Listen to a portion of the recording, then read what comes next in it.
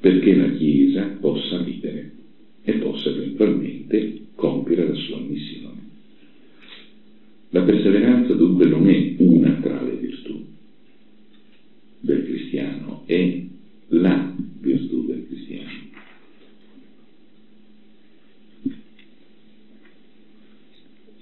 Proviamo adesso brevemente a occhieggiare dove noi troviamo questa perseveranza. E io vi ho messo in breve, dalla linea 50 alla linea 55, i concetti che noi troviamo in questi passi. Allora, capitolo primo, versetto 14, erano perseveranti, questo primo gruppo di cristiani, nella preghiera e dice che erano sempre con Maria.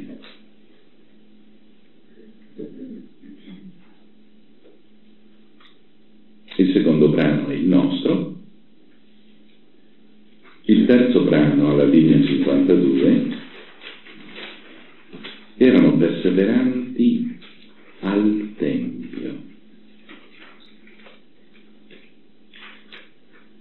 Per la comunità della Chiesa nascente il Tempio era un punto di riferimento, perché tenete presente che la Chiesa nascente non si sente una cosa estranea all'ebraismo.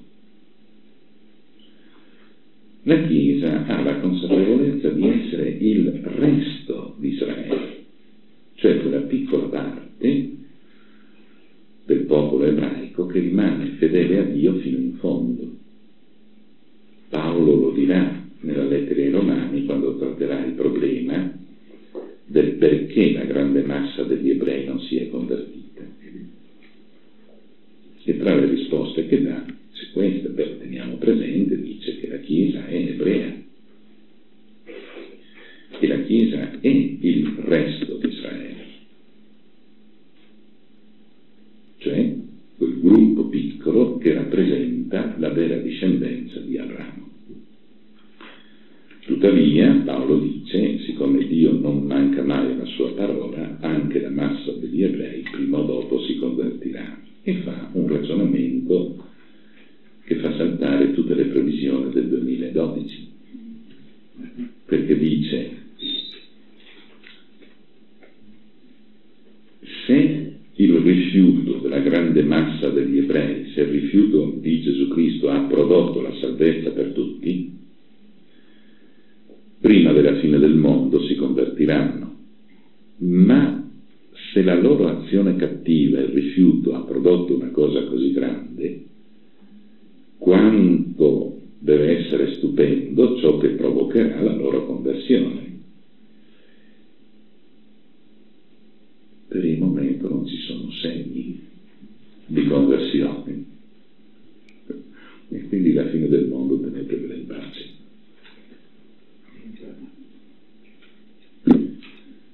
Se seguiamo Paolo dobbiamo fare questo ragionamento. Eh? Bene. Erano perseveranti dunque al Tempio, c'è questo legame con la religione ebraica e c'è dunque questa perseveranza di non rompere, di non staccare, di non dividere l'umanità. E poi c'era ovviamente la perseveranza nella mensa comune. Mensa comune non significa eh, Eucaristia, significa proprio mangiare insieme. Avevano messo tutto in comune e tenevano tutto in comune, e quindi anche la pentola. Avevano istituito una specie di vita conventuale o monastica prima dell'ora.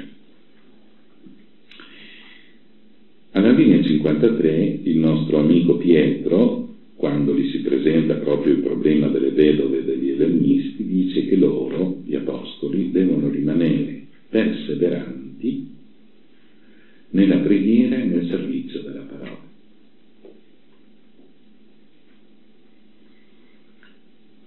Al capitolo ottavo c'è un certo Simone che viene convertito e lui rimane perseverante con Filippo, cioè lo segue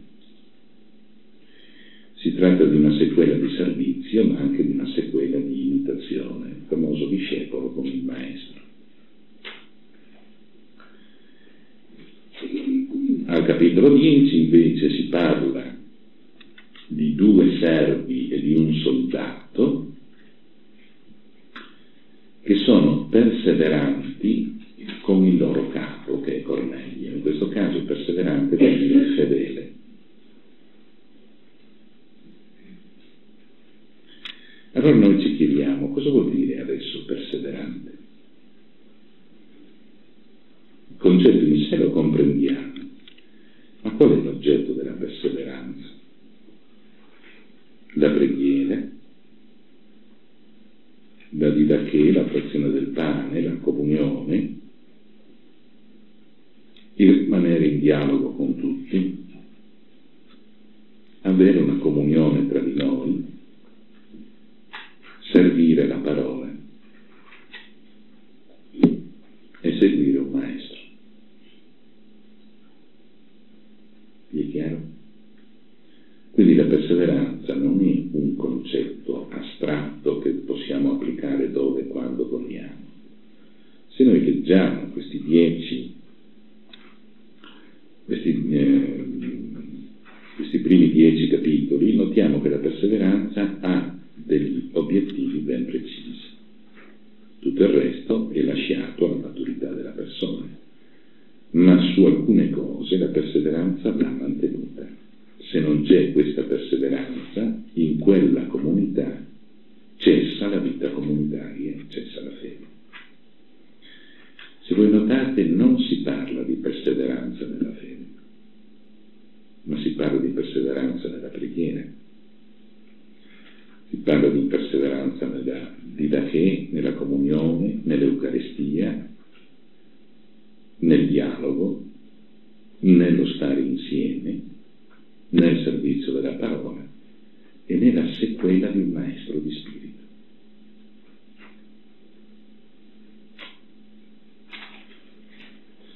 Una volta si diceva il padre spirituale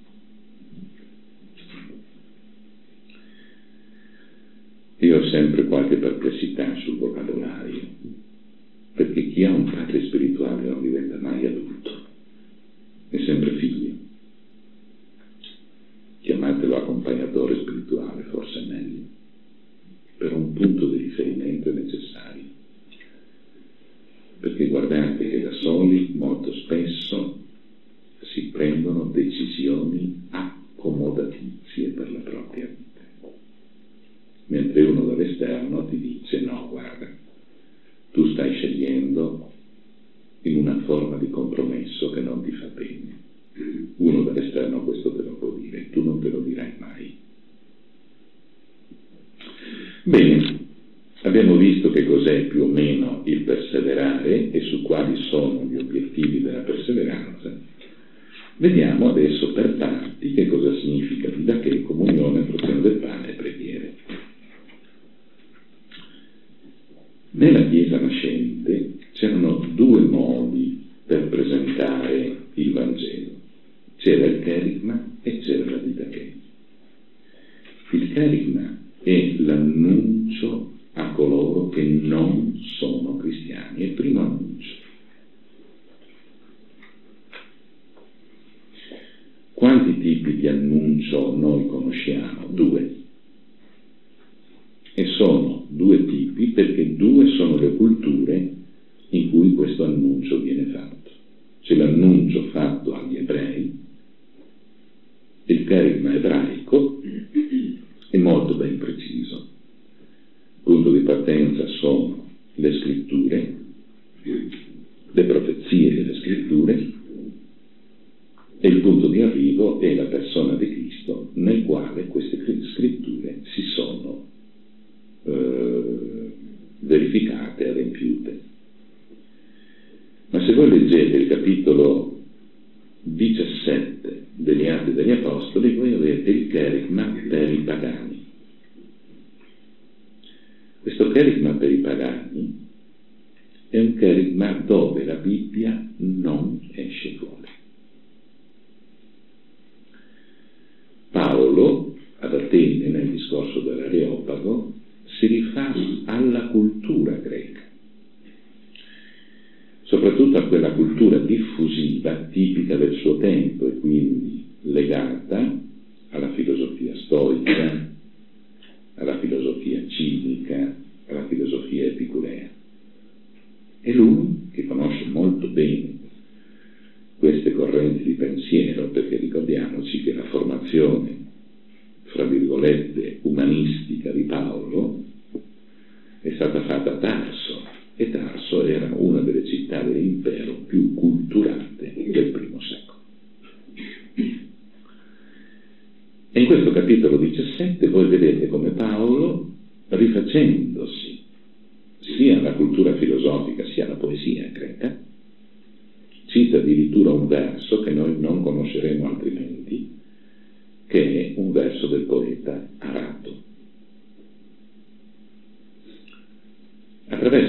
cultura Paolo dice guardate che anche l'umanità è in attesa di questo Gesù Cristo.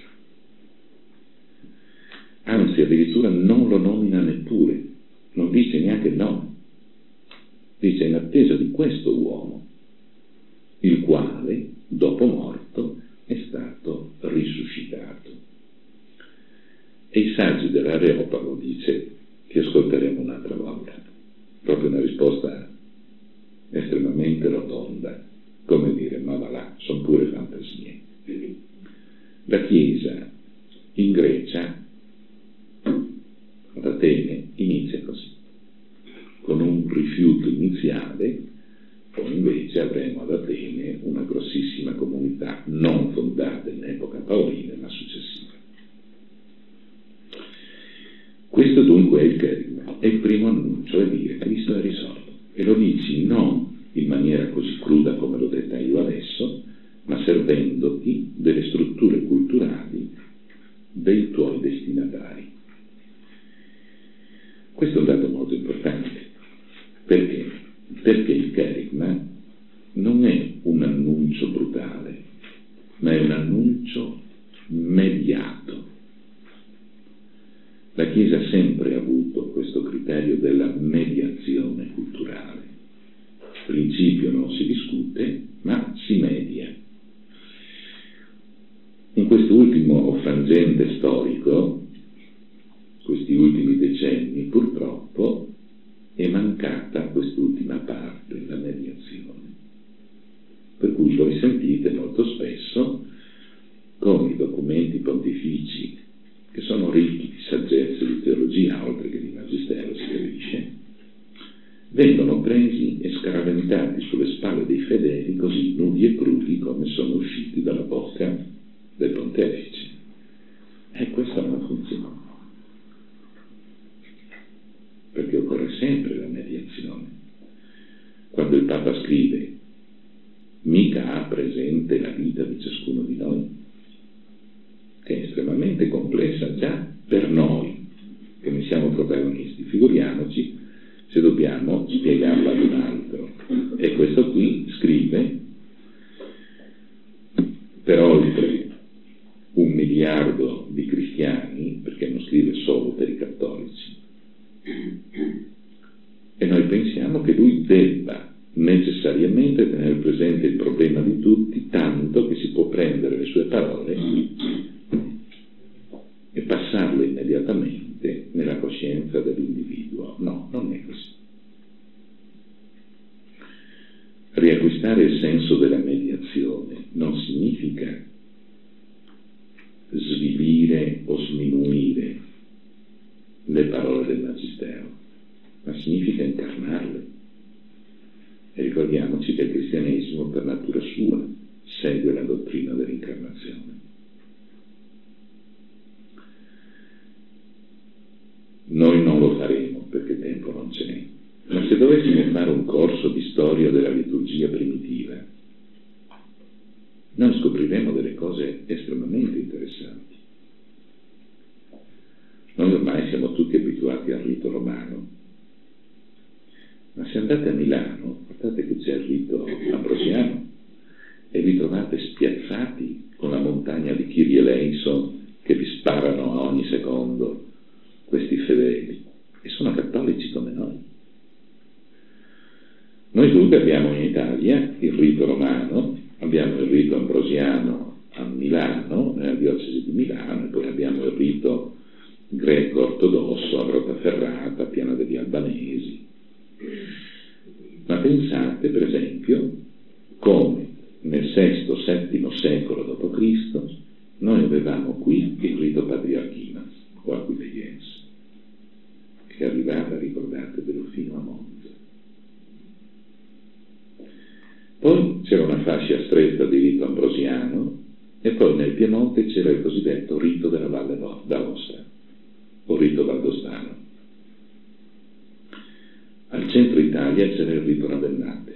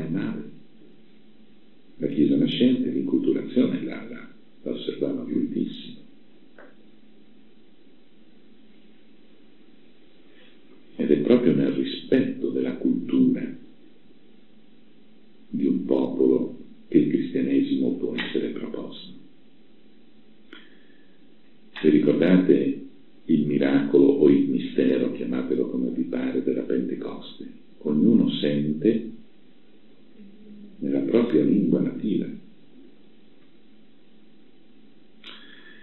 Ciò che vale per il Kerigma vale per la Didache. La Didache è l'annuncio di Cristo a chi è già cristiano.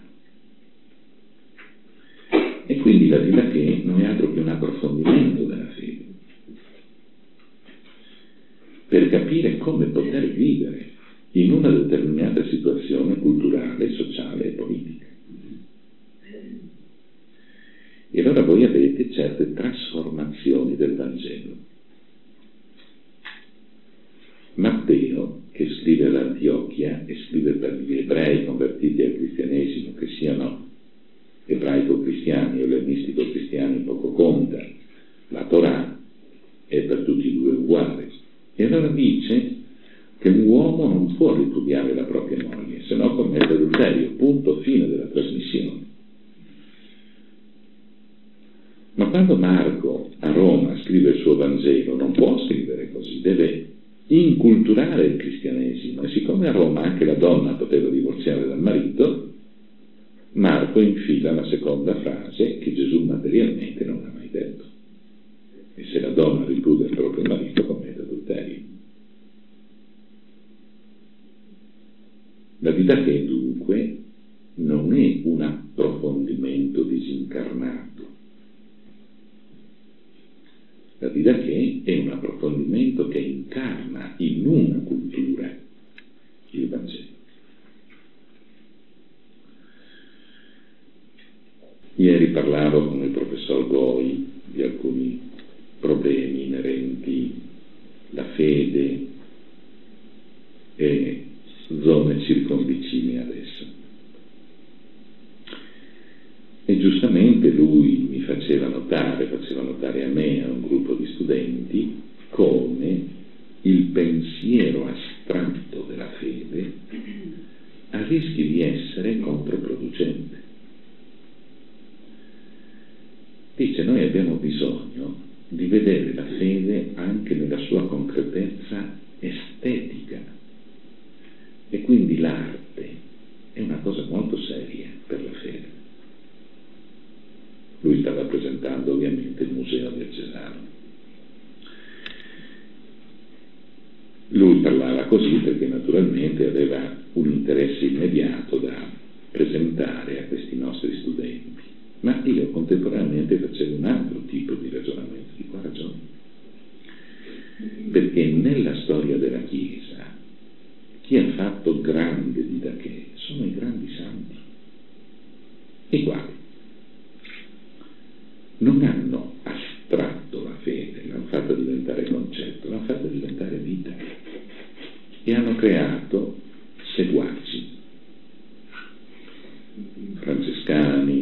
canami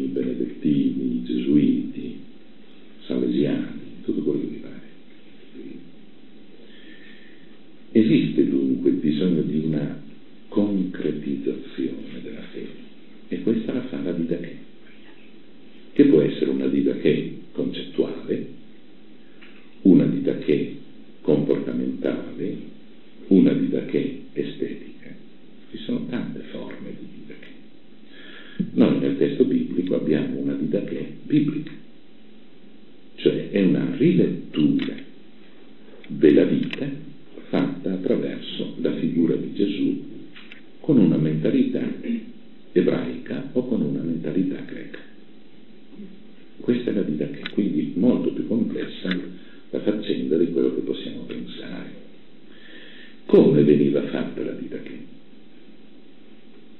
Siamo alla linea 59. Poi meritiamo un po' di caffè perché l'ambiente è proprio freddo.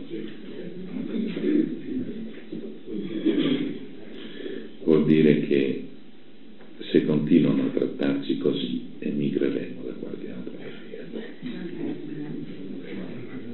Beh, insomma, un po' di caldo lo potrebbero anche dare.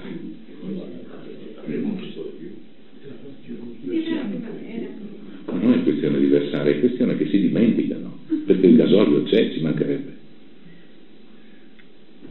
Si dimenticano, accendono la, la sera prima, mentre l'ambiente va riscaldato almeno due giorni prima. Noi siamo forti, vero? Eh, per. Poi andiamo fuori, naso rosso, starnuti, pioggerellina, bene. Sì, beh, decisamente. Il seminario, quando ero ragazzino, dovevano pagare i debiti, avevamo 14 gradi, quindi figuriamoci. Come veniva fatta questa didache? Ecco, io lì ho cercato di farvi due piccoli esempi. Allora, se voi ricordate l'episodio di Gesù bambino perso al Tempio, è interessante, perché dice che il bambino interrogava i maestri, che bravo, questo qua è la riscossa di tutti gli studenti. Solito sono professori che interrogano i ragazzi, invece qua è il ragazzo che interroga i professori. No, era normale. La lezione di un rabbino non incominciava mai con il silenzio della classe e le parole del rabbino, ma iniziava con l'ira di Dio della classe, perché i ragazzini mettevano le domande, il rabbino raccoglieva e rispondeva. L'intelligenza del rabbino era quella di cucire insieme le varie domande e farle diventare una o due domande soltanto. Questo è stato sempre lo stile della Chiesa. Provate solo a pensare a un fatto liturgico molto arcaico. Come si chiama la prima preghiera della messa? Inizia la messa, c'è la richiesta di perdono, c'è gloria a Dio nell'alto dei cieli e poi c'è quella preghiera. Come si chiama quella preghiera? Perché si chiama colletta? Colletta è il participio ricolligere, raccogliere, perché la preghiera dei fedeli che noi facciamo dopo la predica, nella Chiesa nascente veniva fatta qui E il prete ascoltava molto bene le intenzioni che i fedeli manifestavano e poi faceva la raccolta e inventava, seduta stante, una preghiera che raccogliesse le intenzioni di tutti. Capite quanto è importante essere fedeli, cioè membri del popolo di Dio. Poi i preti sono diventati ignoranti, quindi dicevano beccanotti e stupidaggini, come molti ancora oggi, presuntuosi, che pensano di inventare un testo seduta stante, e i vescovi africani per primi hanno detto basta. Alla fine del IV secolo hanno iniziato ad obbligare anche i vescovi a scrivere i testi. E da quella volta la colletta non ha raccolto più niente. È rimasta preghiera fissa. Mi spiego? Preghiera dei fedeli l'hanno spostata all'offertorio, quella ha continuato a chiamarsi colletta, ma non colligeva proprio un bel niente. Questa capacità di raccogliere e far diventare una preghiera sola era la stessa mentalità che si adoperava a scuola. L'uditorio poneva domande e il rabbino raccoglieva e poi faceva la lezione, naturalmente sempre dialogata. Noi oggi affronteremo un testo biblico e il testo che affronteremo è la linea, la linea 89,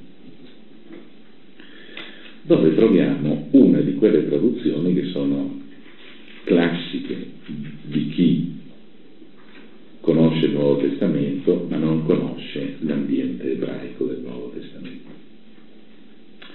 E allora la linea 90 voi trovate la traduzione, poiché doveva partire il giorno dopo, prolungò la conversazione.